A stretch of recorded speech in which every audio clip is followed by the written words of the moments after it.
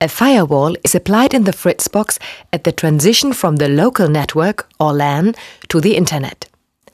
The firewall ensures that only certain data connections can gain access to your LAN, for example, the ones initialized by your web browser.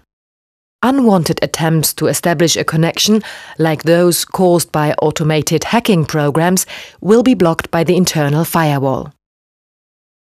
For your information, various data packets from different applications are sent and received over their individual connections, the so-called ports. An example is the above named web browser, as well as email correspondence and file sharing connections like P2P. You've probably heard of some of the most popular ports or their respective numbers. Port 80 for HTTP or port 21 for FTP data transfer. Email protocols like POP3 and SMTP have their own ports as well, as do all other network applications.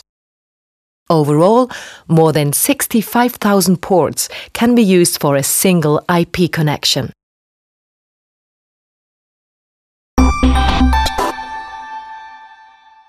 By default, the firewall of the Fritzbox only allows connections into your network that are requested from your network itself. If you would like to open a port for any application permanently, you can enter the number in the list of port forwarding right here. As port forwarding influences the security of your network, this site is available in expert mode only. In addition, it is necessary to have an internet connection configured. Create a new port forwarding and choose either a predefined or other application for which you want to grant access. Suppose you want to arrange a desktop remote control via VNC. Enter an individual name for this connection.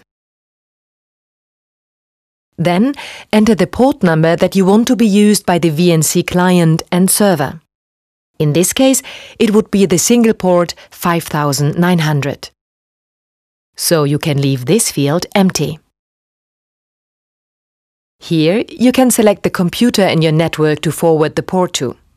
In general, the to port is the same as the from port, so here you can type in the same port number 5900 as above.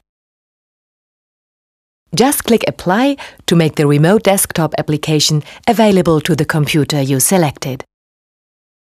By the way, if your computer does not have its own IP address allocated, which is generally the case, you can use a dynamic DNS service to address your Fritzbox over Internet via a freely selectable hostname.